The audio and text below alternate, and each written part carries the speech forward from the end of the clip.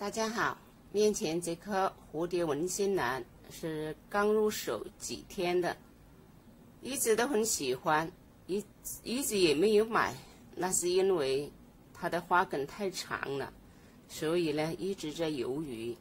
这回呢，我忍不住，就把它买回来了。买的时候看到它呢是双花梗，嗯，有一个长的这个花梗呢，上面顶着一个大大的花苞。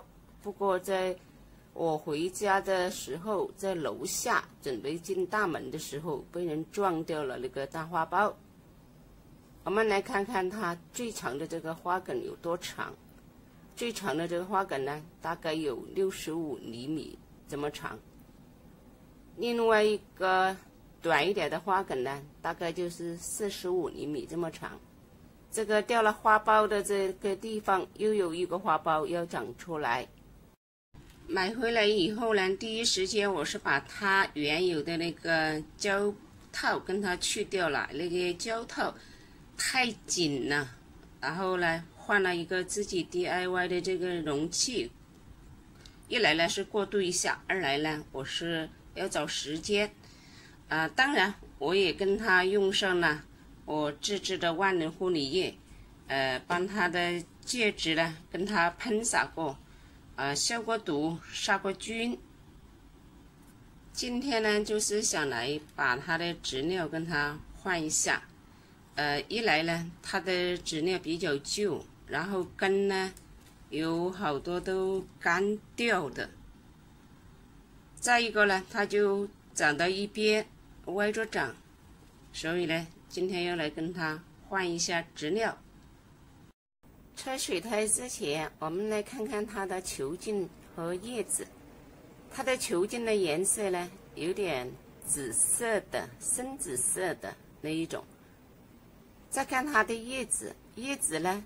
挨着球茎这一节，有点紫色的斑点，然后呢，慢慢的往上就很淡，几乎呢就很少的斑点了。再看看它的这个叶子，平常呢，多数呢通常都是单叶生的，也就是一个球茎长一片叶子，但是也有例外的时候。比如它后面这一个球茎，就是两片叶子，一边有一片，这种几率呢是很少，不过呢有时也会发生。我们来看它的根，它的根呢有好多是干死掉的，比如这里后面有一点点还行。今天拆水苔是个大工程，因为它的水苔被根包得紧紧的，真的是超级难拆。因为它的根把那个水苔包的包得太紧太实，抓也抓不出来。然后我把里面的水苔掏松了，再慢慢的这样子拿出里面的水苔。我用的是一个尖尖的东西来掏的。现在呢，要去跟它冲一下水，冲完水以后，修剪一下根，剪了一大堆的根出来，这一大堆的根大部分都是干掉的，你看这些都干死掉了，剩下根不多，这些还行吧。接下来呢，我就会用上我自制的万能护理液，跟它喷洒它的根部。颈部消毒杀菌。新来的朋友不知道什么是万能护理液，你点击视频上方的链接就可以看到了。喷完万能护理液以后呢，就让它晾一会儿，让它吸收一下。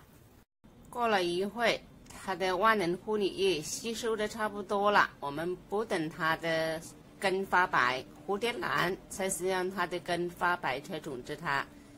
呃，我跟他准备的植料呢，有木炭，还有树皮，还有洗过的水苔。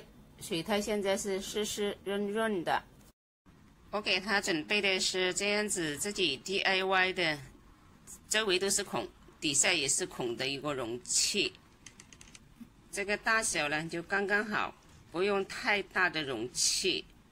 下面呢，跟它加一些木炭，然后呢，再加点水苔，跟着又加点树皮，然后又是一点木炭，又是水苔，然后把蝴蝶纹心兰放进去比一下高度，这样子就刚刚好。调整好位置，让它摆在中间，继续往里面加植料。这就是种好的样子。呃，我们种好以后呢，检查一下有没有固定好，也就是说，拎着这个蝴蝶纹心兰，它的容器不掉下来就可以了。我们在加植料的时候，用点力度，轻轻的压一下就可以了。它的水苔还是湿湿的、润润的，等它干了，我们再给它收。接下来呢，我们说说蝴蝶纹心兰的养护。呃，先说浇水，它呢比较喜欢湿润的环境，在湿度高的季节，可以让植料干了就浇水。如果是在干燥的季节，等它的植料快干的时候，我们就浇水。我用的是自来水。接下来我们说说施肥。呃，蝴蝶纹心兰呢，它在十五至三十度的这个温度之间，它就积极的生长。呃，在我们香港来说呢，几乎就没有休眠期。呃，然后它有花朵呢，是一直这样子不停的开，所以呢，我们可以一直跟它施肥。呃，如果经常施肥的话，肯定要薄肥咯。呃，肥料的浓度呢？我用的是建议浓度的四分之一，也就是薄肥勤施。摆放的位置呢，就是要通风、比较强的、散射光的位置。如果它的光照不够的话，它的长势就不好，哎，很难开花。如果太猛烈的阳光照射的话，就会影响它的花朵的质量，呃。比如说花朵的大小啊，花朵的颜色呀，如果照顾得好的话，它会一直开花，一直续花，不停的这样开，直到它的花梗慢慢的老去。只要它的花梗不变黄、不变干，我们就不要剪掉它。好了，今天的视频呢，我们就分享到这里，谢谢大家，我们下期视频再见，拜拜。